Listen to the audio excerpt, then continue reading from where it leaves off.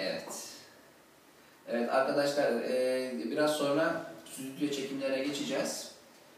E, ışığı çok iyi ışığı çok iyi netice vermesi için bu makyaj şart.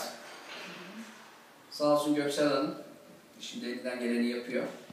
Elinden gelen gördüğünüz gibi bayağı bir Fazla bir şeye gerek yok aslında. öyle mi? Tabii ki. Ee, ben arkadaşlara şunu öneriyorum. Neticede cilt bakımınızı tam yaparsanız arkadaşlar yarın öbür gün çok iyi sonuçlar alıyorsunuz çekimlerden.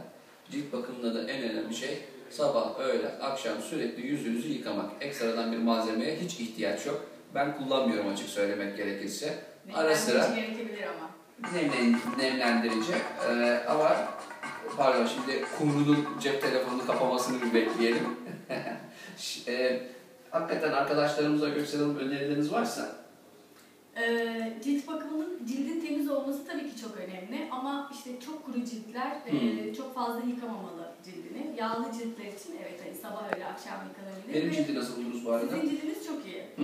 Çok kuru değil. Ben sadece sabah öğle akşam yıkıyorum diyorsun. Haha, evet. e, zaten yağlı cilt e, daha geç yaşlanır.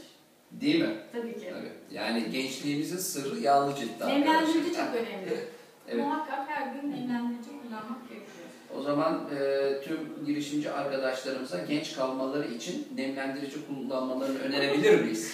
Peki bir el sağlayalım Göksel Hanım tüm arkadaşlarımıza. Başarılar diliyoruz arkadaşlar.